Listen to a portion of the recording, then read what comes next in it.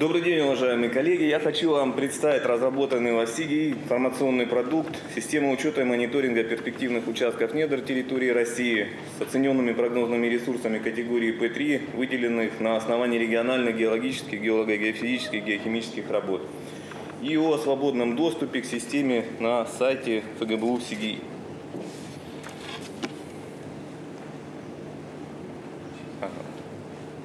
Ну, сейчас я хотел бы просто пару слов сказать о СИГИ, что это такое.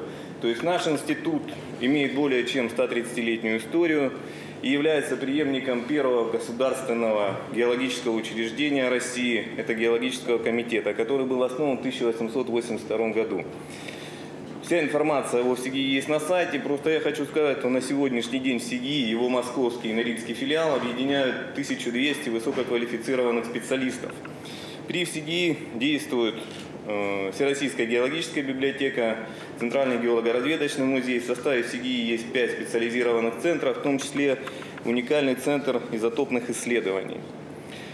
Ну и дальше, переходя, собственно, ближе к теме доклада, что во ФСИГИ ежегодно организуется около 40, не менее 40 полевых партий, которые работают по всем регионам России. И силами ФСИГИ и подрядных организаций ежегодно обеспечивается прирост геологической изученности масштаба 200 тысяч, порядка 80 тысяч квадратных километров. И выделяется не менее 40 перспективных участков категории П3. Вот про систему учета этих участков я и хочу рассказать в своем докладе. Ага. На сегодняшний день система учета включая 2513 перспективных объектов. Создание этой системы было начато в 2004 году.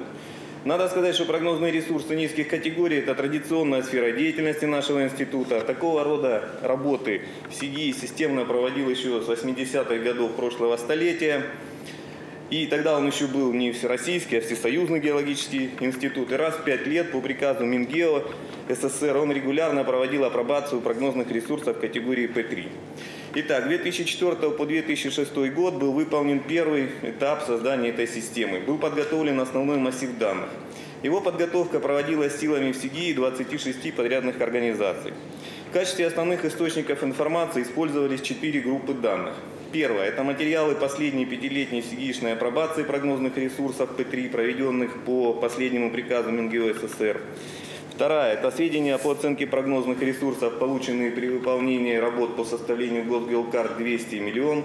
Третье – это результаты работ по геолого-минералогическому картированию масштаба 200 и 500 тысяч. И четвертое – это данные, полученные в ходе тематических прогнозно-металлогенических работ отраслевыми институтами Министерства природных ресурсов. И в результате вот этого первого этапа был создан массив из 1630 перспективных площадей. Этот массив был загружен в базу данных и составил основу системы учета. С 2007 года система переведена в режим мониторинга и регулярно пополняется новыми данными, полученными при геологическом картировании 200-тысячного миллионного масштаба.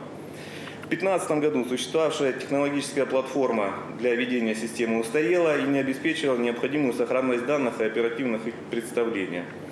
И кроме того, в связи с внедрением заявительного принципа недропользования, от Роснедра нам была поставлена задача обеспечить открытый и удобный доступ к перспективным участкам. В 2016 году начался перевод системы на новый технологический уровень и э, ее реализация в виде интернет-приложения. И вот уже два года система представлена на нашем сайте, функционирует в открытом режиме, и за это время зарегистрировано более 15 тысяч обращений. Более подробную статистику по обращениям я переведу позже. Сейчас несколько слов об организации работ. Организационная схема работ по созданию и ведению системы учета имеет трехуровневую структуру. Это производственные организации, СИГИ и научно-редакционный совет Роснедра. Первый уровень – это составление паспортов. Выполняется организациями, непосредственно проводящими геологическое изучение определенной территории. В том числе, конечно, это и полевые партии СИГИ. Следующий уровень – это экспертиза и апробация. Этот этап выполняется силами региональных и специализированных отделов СИГИ. И на верхнем уровне проводится рассмотрение подготовленных объектов на э, НРС Роснедра в составе листов госгеокарт. После апробации паспорта получают статус рекомендованный и как отдельная категория учитываются в системе. На сегодняшний день таких объектов тысяча три. Но хочу подчеркнуть, что в систему вносятся все паспорта, поступившие от исполнителей работ, и отклоненные, и рекомендованные территориальными органами, все. Все-таки оценка эксперта – это субъективная оценка, и потенциальный недропользователь может с ней согласиться, не согласиться, привлечь своих экспертов для апробации материалов. Поэтому с отметкой о соответствующей категории они вносятся в систему, и в системе представлены все перспективные объекты. Теперь несколько слов об организации информации. Вся информация загружается в базу данных, разработанную нами в 2015 году структуру, и дальше на основе этих данных автоматически формируется текстовое представление паспорта объекта. Ну, как правило, паспорт состоит из 10, 20, 30 страниц. Информация там группируется в 6 основных, один дополнительный блок. Основная информация – титульные сведения, общие сведения об объекте, геолого-металлогеническая характеристика, обоснование выделения перспективного объекта, количественная характеристика. Ну и краткую характеристику этих блоков вы видите на слайдах. Блок «Дополнительные материалы».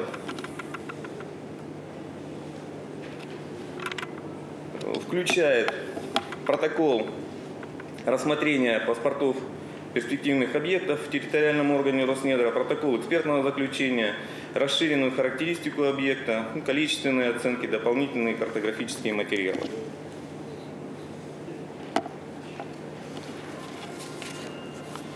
Как я уже говорил, в марте 2016 года начались работки по созданию новой технологии представления информации именно в виде интернет-приложения. Основная часть работы выполнена в 2017 году и система опубликована в разделе «Информационные ресурсы» сайта СИГИ. В интернет-представлении система состоит из двух блоков. Первый – это электронный кадастр паспортов, и второй – это интерактивная карта. Эти два представления связаны друг с другом и обеспечивают возможность как пространственного отображения перспективных площадей, так и их полную характеристику. Система реализована в виде клиент-серверного приложения. Это имеет ряд преимуществ, не буду перечислять какие, но для нас с вами основное преимущество в том, что все данные, представленные в системе, они актуальны на текущий момент времени, вот на сейчас. То есть нету такого понятия актуальной системы на 1 января 2016 года или 2017 года. Все, что сейчас, а они сейчас операторы вносят в систему, сразу становится доступным на интернет-сайте.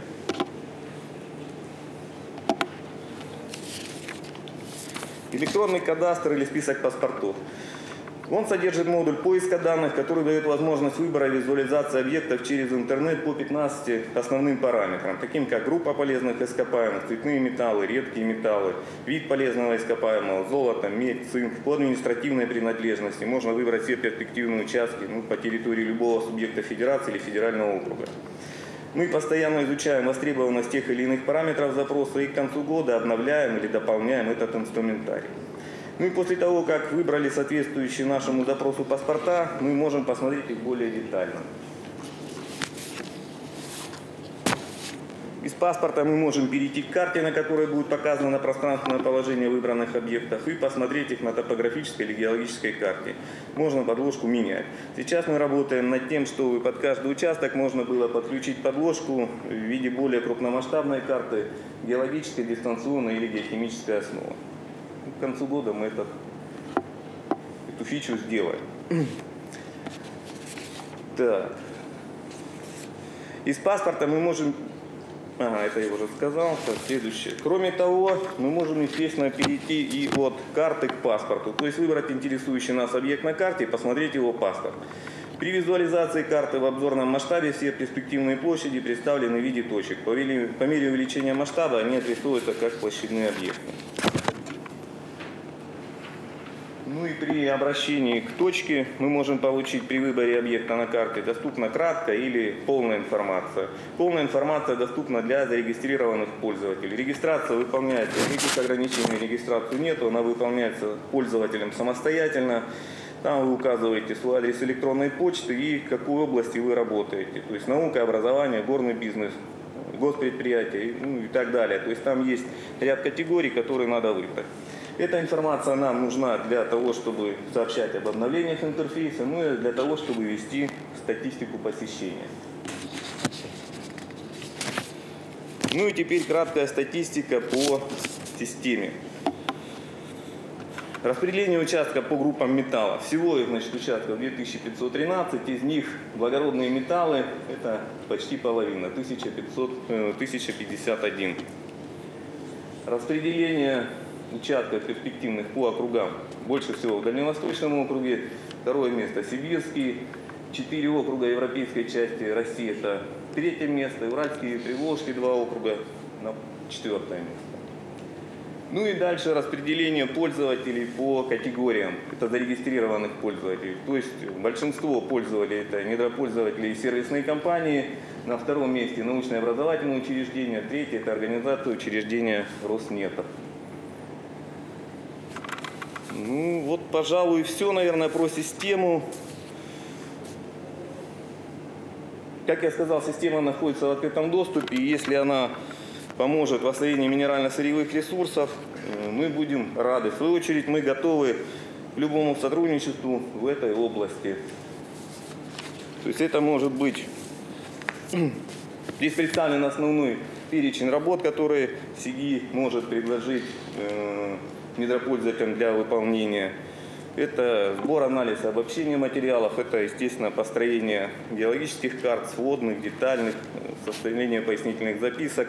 Это комплексная оценка минерально, минерального потенциала, это лабораторно-аналитические работы, это организация и проведение совместных работ, по, в том числе и полевых. Ну, еще хочу отметить, что в СИГИ, наверное, единственная организация Роснедра, где количество молодых геологов не уменьшается, а увеличивается. Ну, во всяком случае, по моему впечатлению. Ну и эти молодые геологи хотят, могут, им интересно выполнять такого рода региональные геологические исследования. Ну и кроме этого в АСТИГИ действует аспирантура, в которой учатся 56 аспирантов очной формы обучения. То есть мы готовы обеспечить и достаточно высокий научный потенциал проводимых работ. Все, спасибо. Спасибо большое.